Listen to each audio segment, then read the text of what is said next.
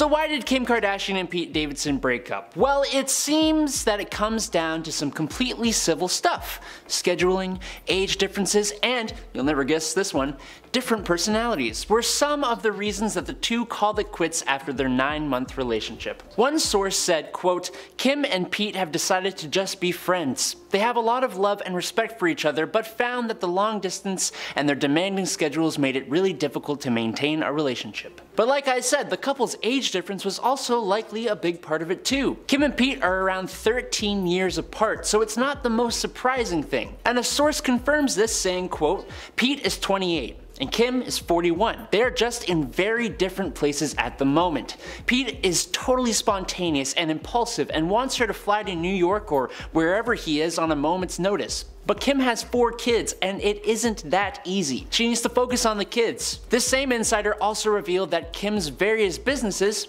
of which there are many, have made keeping a relationship difficult for her saying quote, she's totally exhausted by this relationship and other things going on in her life. But that's not to say that they were not getting along or had no chemistry. They absolutely had a lot of chemistry and anyone who's seen them together would agree with that. Yet another source, this time for Entertainment Tonight, said quote, they had tons of chemistry and still do, but she kind of wants to be single and date.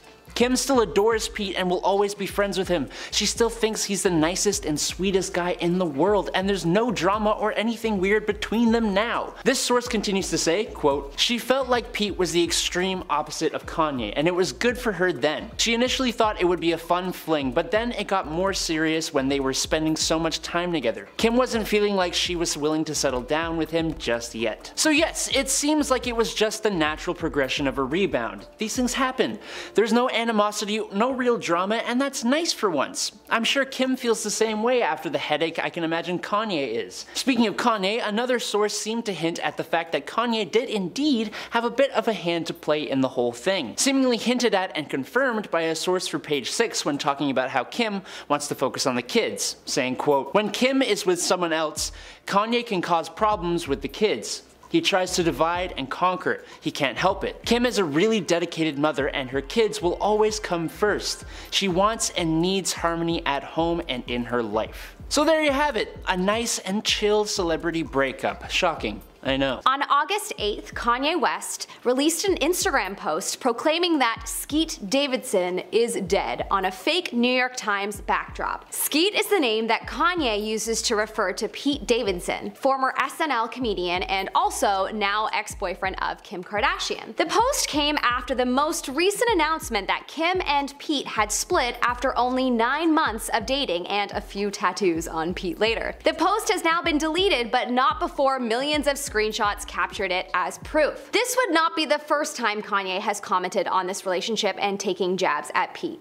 Earlier in the year, Kanye released a music video that depicts the harming of Pete, and he also shared private text messages from Kim's phone on social media. Kim allegedly said to Kanye, You are creating a dangerous and scary environment, and someone will hurt Pete, and this will all be your fault. Kanye took to Instagram to follow up on this and commented, Upon my wife's request, please nobody do anything physical to Skeet. I'm going to handle the situation myself. He accompanied the comment with a picture from the 2001 film Baby Boy with Ving Rhames hurting Tyrese Gibson. Kanye has repeatedly threatened Pete and begged for Kim to take him back. Allegedly, Pete is now attending therapy to recover from the craziness of this situation. A source close to Pete told people that the comedian has been in trauma therapy in large part due to the many threatening posts that Kanye has posted posted on social media.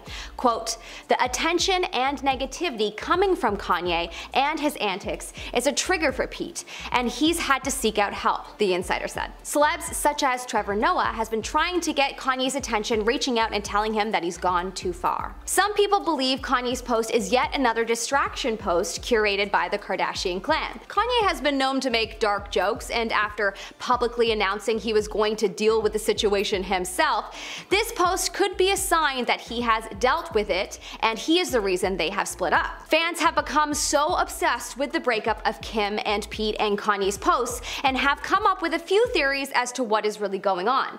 Some say Kim and Kanye are now back together and that may motivate Kanye to post something like this to implant the idea into everyone's mind that he won. Some say that the breakup, along with Kanye's disturbing post, is a distraction from the fact that Khloe Kardashian and Tristan Thompson just had another child, something no one is talking about. The news was timed perfectly to distract everyone from Khloe's new child, as people are already super hard on Khloe for forgiving Tristan, and she may just want this time without the public's energy and opinion. But then, of course, the final theory as to why Kanye may post something like this could be due to mental illness. It became public knowledge not too long ago that Kanye suffers from a few mental disorders, including bipolar disorder, and as we all can remember from Amanda Bynes' tweets in 2013, another celeb who suffers from bipolar disorder, it wouldn't be within the wheelhouse of someone struggling with this disorder to say erratic things and make inappropriate remarks. As much as I am all for freedom of speech, I think it's the job of his family and team to make sure that he is okay and gets the help that he needs, even though they may be conflicted with this as this kind of behavior has become a part of his brand, sadly. On Friday, Kim and Kanye met in Los Angeles to have a conference to set up their trial in regards to their divorce. Kanye's divorce lawyer at the time was a woman named Samantha Spector, and she asked that the judge relieve her as Kanye's counsel. She said that their relationship was irretrievably broken, but she wouldn't say why that was. Samantha is known for her work with other celebrity divorces, and you can't help but wonder what happened between the two for her to decide that stepping down from the case was the best option. She had a date set to withdraw a week from now, but the judge granted her request and now Kanye is left without a lawyer. Again. The judge also decided that Kanye needs to submit his request and settle the remaining issues or the case will be going to court in December. Most people think that if Kanye continues to lose lawyers and not give his demands, Kim will probably get whatever she asks for in the case. People on Twitter have also been commenting on the situation, many people thinking that Kanye is to blame for his issues. Tweets said things like, Fifth lawyer, I'm starting to think that Kanye may be the common denominator in all of his issues, lol. And Kanye should just give Kim what she wants, SMH. He's the problem. His attorneys quit just how Kim did in the marriage. Seems too he didn't dump the girlfriends he had after Kim, they dumped him. Poor guy went downhill mentally after the loss of his mother. There are at least some people though that are in defense of Kanye. One person saying, won't be shocked if the lawyer got paid off or threatened by the Kardashians. The Kardashian couldn't get the